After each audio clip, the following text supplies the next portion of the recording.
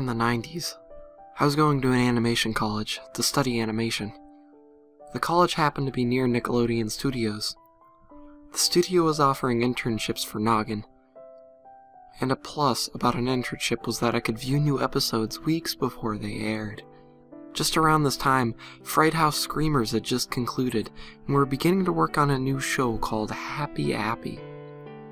The premise of Happy Appy was an apple who went around and helped children.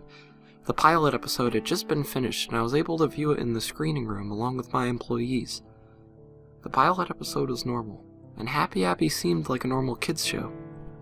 A few weeks later, we began getting weird episodes.